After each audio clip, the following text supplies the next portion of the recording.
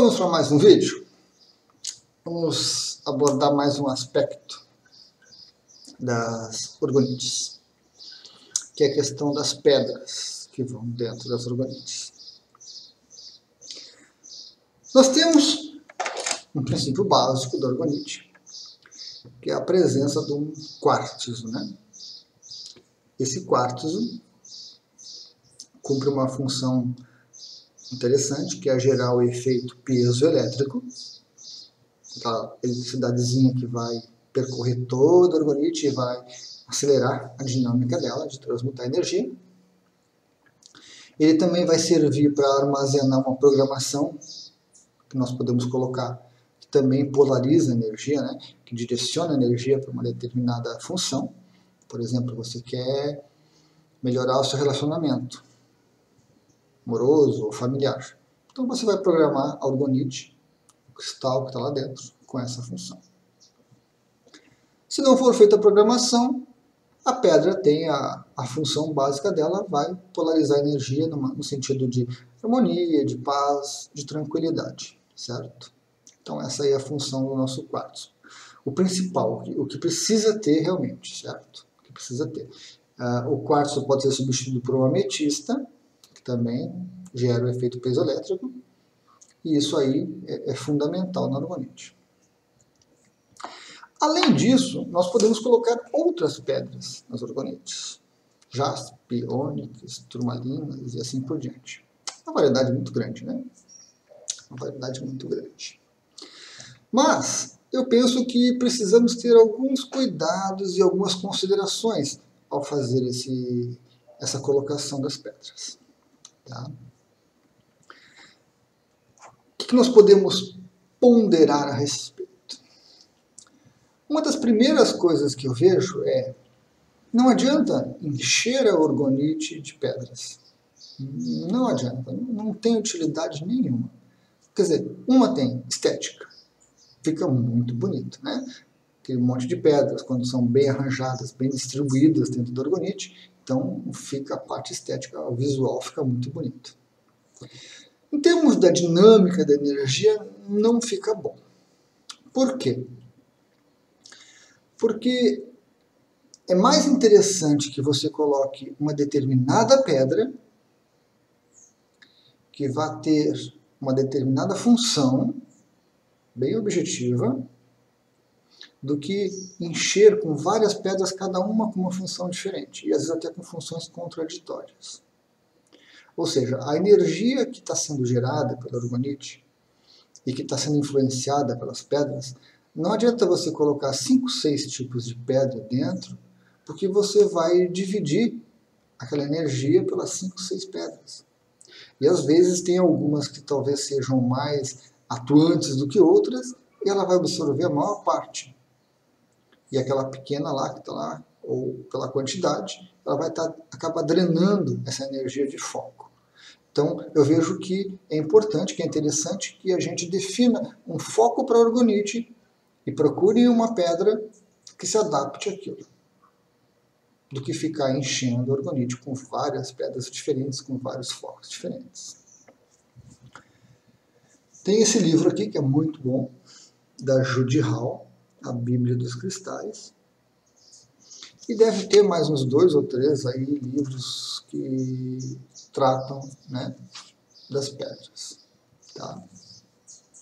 Não gosto muito do nome, né? Bíblia dos Cristais, porque nem todos são cristais. Nem todos têm uma estrutura cristalina dentro que justifica nome. Bíblia das Pedras também fica um pouco estranho, né? E cristal é algo que foi se popularizou. Então, um ponto que eu vejo que é marcante é isso. Muitas pedras vão dividir a energia, vão desfocar a energia do orgonite e a coisa vai se perder um pouquinho. Certo? Então, vale mais a pena ah, que a pessoa que esteja fazendo orgonite, a pessoa que queira comprar aquele orgonite, queira ganhar aquele orgonite presente, conversem e vejam um foco, vejam um, um objetivo, uma coisa assim mais direcionada, mais organizada, né? Aí a coisa vai funcionar muito melhor. O orgonite vai funcionar muito melhor, certo? Então, desculpe, quer direcionar para o trabalho, quer direcionar para questões materiais, vai escolher pedras que tenham essa afinidade, que tenham é, essa vibração energética vinculada com esse objetivo. E vai colocar aquela pedra. Não adianta botar cinco, seis pedras de novo, mesmo que tenham o mesmo objetivo, porque realmente a energia acaba se dividindo e cada uma tem um foco um pouquinho diferente da outra. Certo? Se houver dificuldade de conseguir a pedra, né, atrapalha um pouquinho. Mas algumas pedras básicas todos nós temos acesso, seja pela internet, seja por alguma loja que tem na nossa cidade. Outro aspecto que precisa ser cuidado é que não podemos uh, misturar também, não é recomendado que se misturem pedras antagônicas.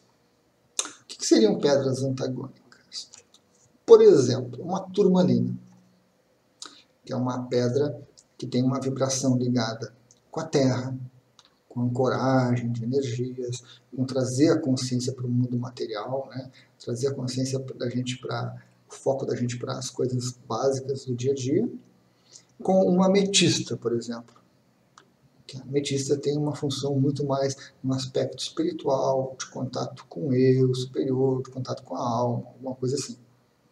Então, a, a colocação dessas duas pedras são, são antagônicas. Você está tá usando uma pedra que te puxa para baixo e uma pedra que te puxa para cima. Provavelmente você vai ficar no mesmo lugar. Tá? Não vai ter o, o objetivo, seu objetivo não vai ser é, atingido. Porque uma parte da energia vai levar para cima, uma parte vai levar para baixo, você acaba ficando parado no mesmo lugar, se movimentando um pouco. Então a gente volta à primeira questão dos objetivos. Eu quero uma, uma, uma um organite para contato comigo mesmo, contato com o meu eu, alguma coisa assim. Mais espiritual, eu vou colocar uma ametista. É uma das pedras principais para fazer isso, e tem mais algumas outras assim também. Eu quero uma, uma orgonite que é mais proteção, que é mais materialização de objetivos, e aí eu vou colocar pedras que têm esse foco, uma turmalina, uma perita, né? alguma coisa assim, tem uma série de pedras para as mais variadas funções. Então, eu volto à primeira questão de foco. Não adianta colocar, né? nós temos a segunda questão, esse antagonismo das pedras, mas considerando a primeira, que, que é uma, uma parte básica dessa, dessa nossa ponderação sobre qual pedra que vamos usar no ambiente. Ok? Então, cuidado. Escolha seu objetivo bem definido. Coloque de preferência uma pedra voltada para esse objetivo e evite usar pedras com antagonismo, tá? que tem objetivos diferentes dentro da mesma peça. Não é que vá danificar o orgonite, não é que vá gerar um problema, não, nada disso. Mas vai haver uma perda de energia, vai haver um desgaste da energia que está sendo gerada e o objetivo acaba se tornando. Né, não vai ser tão fácil atingir o objetivo que a gente quer quanto seria se, se pensasse certinho o que, que eu quero com aquela algoritmo. As pessoas gostam né, de colocar as pedras nos algoritmos, isso é, é fato, é evidente, tanto de colocar quanto de ver as pedras, as pessoas gostam bastante. Eu já sou da linha que apenas o quartzo é suficiente. Apenas o quartzo é suficiente. Ok? Mas, quando me pedem, eu acrescento as pedras que as pessoas me pedem, ou quando me vem uma intuição sobre determinada pessoa, determinada pedra, eu também acrescento. Certo? Mas a minha linha que eu gosto de seguir é o quartzo é suficiente. Tá? O quartzo polariza a energia de uma forma harmônica, aceita a programação, gera efeito piezoelétrico, então está tranquilo. Um outro aspecto das pedras com relação às orgonites é a quantidade. Então a gente cai numa questão que eu já abordei em outro vídeo, que é a questão do mais, né? Mais dinheiro melhor, mais alegria melhor, mais felicidade, melhor. mais roupa melhor. Ou seja, no mundo material, tudo que é mais, a princípio, é melhor. Mais sofrimento, não, né? Mais coisas boas, certo? Falando das coisas boas. Então a gente tem essa tendência de achar que tem que ser muito mais, tem que ser muita energia. Tu vai para uma sessão de cura, tu vai querer muita energia, muito intensa. E não é assim que funciona. No aspecto energético, não é assim que funciona. Se você precisa de um pouquinho, um cadinho de energia para aquele aspecto seu, é aquilo que você precisa.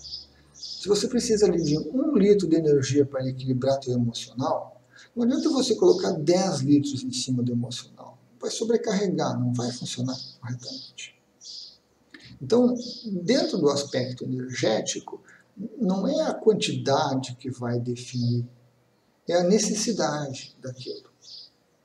E as pessoas, né? Então, às vezes, enchem de pedras, pensando que quanto mais pedra eu colocar daquilo que eu quero, melhor, mais energia vai ser gerada. Não, não funciona assim. Às vezes, uma pedrinha pequenininha, uma sobrinha pequenininha, por exemplo aqui. Esse quartzo lemuriano, que é pequenininho. E esse quartzo. Né? Esse aqui é maior, mais energia, mais intenso, mais objetivo, mais resultado. Não. Às vezes eu posso pegar essa pedrinha pequenininha aqui e tirar um pedacinho só da ponta e usar só aquele pedacinho na ponta, ponta dele dentro do orgonite e vai ser mais do que suficiente. Vai ser mais do que suficiente. Porque a, a essência que eu preciso da pedra vai estar naquele pedaço. Então ele vai dar conta tranquilamente da nossa orgonite e das energias que estão envolvidas. Então não há essa necessidade, a gente precisa tirar da cabeça que quanto mais pedra, melhor. Não. Você vai fazer uma pedra, por exemplo, que vai, vai trazer um pouco de abundância, um pouco de energia financeira, uma pirita, por exemplo. Não adianta encher a pirâmide de pirita, é, é uma ilusão. Você vai colocar uma perita pequena, bem localizada, visível, certo? E você vai ter o mesmo resultado. Então a gente começa a olhar esta situação, precisamos começar a olhar essa situação de um outro aspecto. Não adianta trazer lá do mundo material aquelas todas aquelas nossas crenças, as nossas é, ideias preconcebidas e tentar impingir isso no, no mundo energético. É diferente. É diferente. Precisamos então tomar cuidado nesse aspecto, certo? A quantidade, mesmo que seja de uma determinada pedra, não significa necessariamente que vai ter mais potência, mais resultado. Isso apenas ilude a mente e, e, e, traz esse costume, né? traz essa inércia lá do mundo material de que quanto mais lá, aqui também tem que ser mais. Não. No mundo energético é a necessidade. Isso é o que, é o que baseia o processo todo. A minha necessidade é que vai determinar o que eu preciso. E normalmente, em termos energéticos, em termos de quantidade de energia que um, uma orgonite gera, um pedaço pequeno assim é muito mais do que o suficiente. Ok? Então a gente toma cuidado com isso. Mais um aspecto sobre as pedras. Se você abrir esse livro aqui, algumas pedras têm mais texto do que outras. Tá? Vocês vão perceber isso aí. Alguns têm uma página, duas páginas, alguns têm três, quatro páginas, cinco páginas. E se a gente for levar um pouquinho para o lado racional a coisa, né, for analisar racionalmente, você vai observar que há uma sobreposição de funções.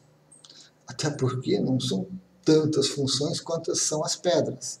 Nós temos uma miríade de pedras ali e nós temos algumas funções básicas do ser humano, algumas necessidades básicas. Por exemplo, vamos tomar o aspecto físico, emocional, mental, espiritual. São quatro aspectos. e eu tenho 500 pedras. O que, que vai acontecer? Muitas pedras vão ter o mesmo foco, o mesmo direcionamento da energia. Ok? Então, a gente tem que tomar cuidado com isso, por quê? Porque, infelizmente, existem né, algumas extravagâncias de pedras que fazem milhares de coisas. Precisa de uma certa especialização. A gente tem que buscar uma especialização. Então, qual a pedra que se foca nesse aspecto? Qual a pedra que se foca mais naquele aspecto? Depois nós temos a questão de, de facilidade de obter a pedra. Algumas pedras são mais fáceis de se obter do que outras. E algumas pedras são mais caras do que outras. Então, temos que ponderar um pouco isso, porque não adianta a gente ficar pensando que uma determinada pedra vai fazer tal coisa específica lá, bonitinha, porque estava no livro, daqui a pouco vocês estão pesquisando e outra pedra faz a mesma coisa. E aí você se esmera tanto em conseguir aquela pedra tão difícil, tão cara, e tem outro que faz o mesmo serviço. Então, a gente acaba se perdendo nessa variedade. Esse é um cuidado que nós temos que ter. Estudar um pouquinho as pedras, se focar um pouquinho nas pedras, e principalmente ter, que é um outro aspecto que é muito importante, a gente precisa ter uh, uma base de referência, certo? Então, por exemplo, eu estou citando esse livro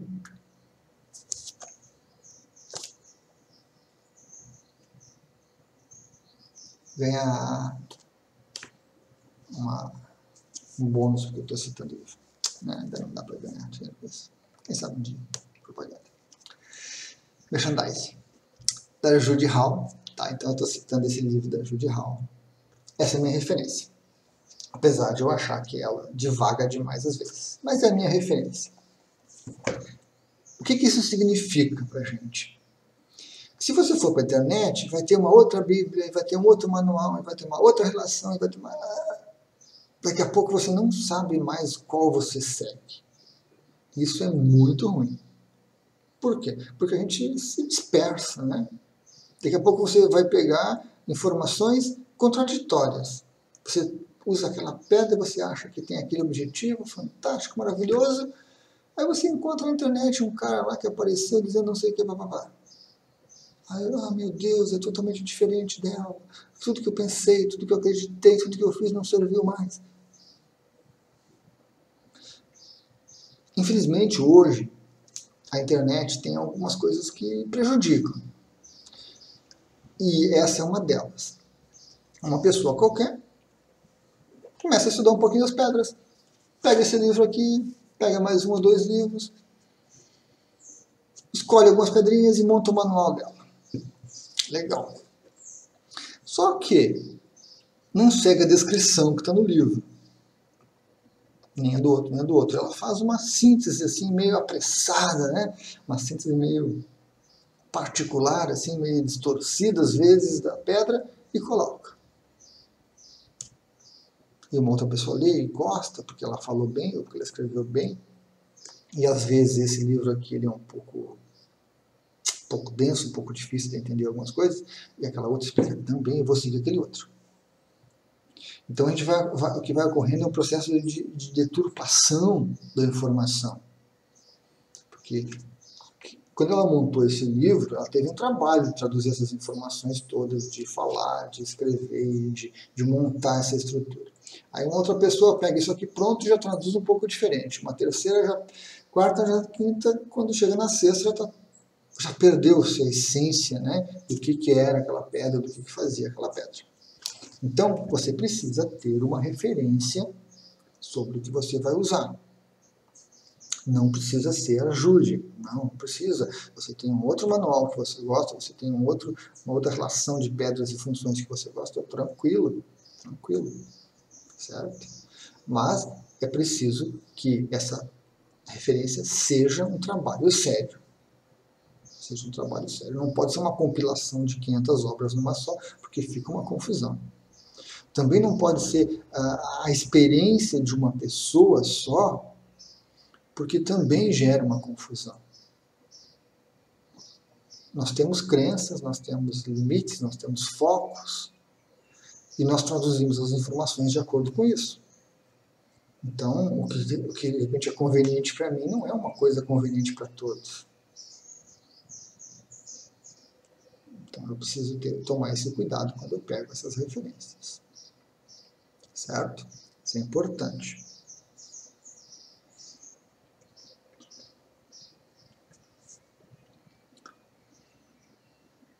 Relembrando, relembrando, pegando essa minha orgulhetezinha aqui, né? Formato de bolacha, tem que achar um nome novo para ela. Aqui dentro eu tenho o meu quartzo, que vai gerar o efeito piezoelétrico, certo? E, normalmente, quando me pedem, eu coloco uma turmalina negra. Aterramento, coragem das energias, proteção, materialização das coisas. Essa é o básico. Senão, fica realmente o quartzo ali com a sua função principal. Certo? Mais alguma questão sobre as pedras? Acho que era isso, de orientação das pedras no uso com orgonídeos. Certo? Acho que era isso. Qualquer coisa a gente faz mais no vídeo. Obrigado a todos.